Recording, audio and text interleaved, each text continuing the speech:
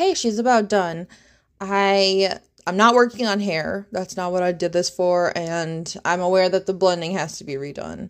Essentially though, I'm done with this one.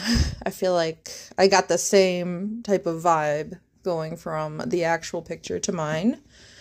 And um I'm pretty proud of it as my first art piece of 2023 and many many years. So thanks to all the support I got from the last video. Bye.